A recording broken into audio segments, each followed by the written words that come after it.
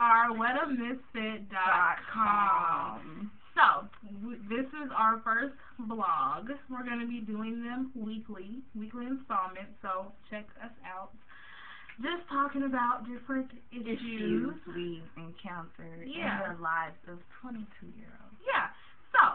We're going to jump right in. And the first topic today is relationships. And heard in the song, again, by Mhm. John Legend, Yeah. we are just talking about how when people break up nowadays, they don't break up. yeah. They turn into best friends Yeah. or yeah.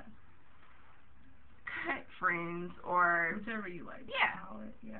So Yeah. that's our topic. And when is it time to, To move on go. and just let go and just start fresh without that person? So, um, yeah, I mean, it's like you date people forever, or either you're like in a so-called relationship for forever, and then when y'all finally break up, you don't even break up because you're still at each other's house mhm. every day or every Mhm. week. Mhm.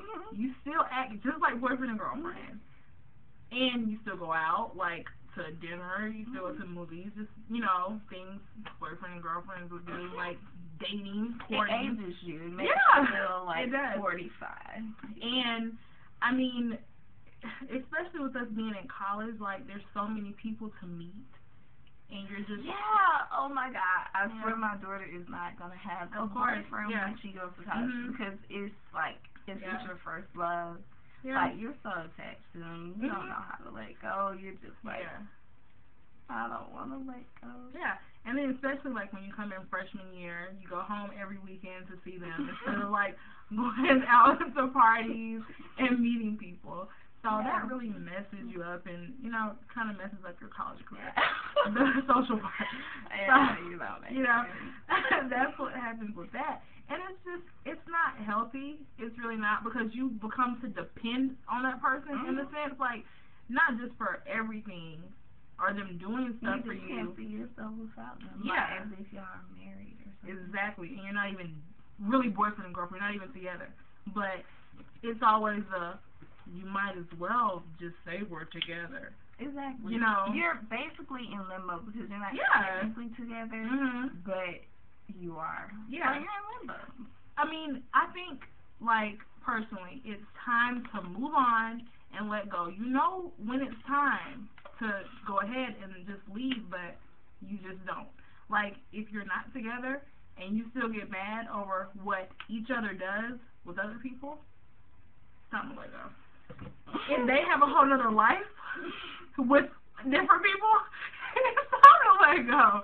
Like, of to advice that need to be taken Yeah. by us. Time to go. I mean, it's just we're so young, and I just feel like there's nobody left because everywhere I look around, people are just we might as well be boyfriend and girlfriend. I mean, Yeah, and it's Yeah. like breakup isn't what it used to be. It's Back not. our parents say they would break up and move on and date. It was Somebody such else. thing as courtship, where that the woman anymore. would be courted by a Mhm. man, wine and dine. Yeah. You know what I mean? And she, I mean, if things didn't work out, break up, move on, break up, move on. But nowadays, we, we have these terminologies of like homeboy, homegirl, tech friends, whatever you want to call it. best friend. Best friend. That's the main one. People love it. It's like if you've been together a little bit over a year, when you break up, you don't That's talking. best friend. That's my best friend. Because you're just holding on to some type of title just to keep them around. Yeah. That's my best friend. in reality, in reality, y'all are very close and y'all are friends, but you are not best friends because you cannot truly be best friends with somebody if you still care about them Exactly. or if you still care about what they're doing with another person. Exactly. It's You know. jealous, anything. So, I mean, that's.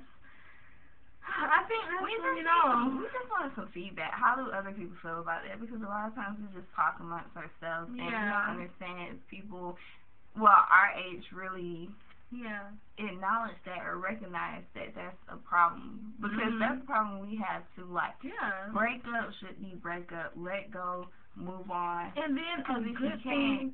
Oh, it's a problem.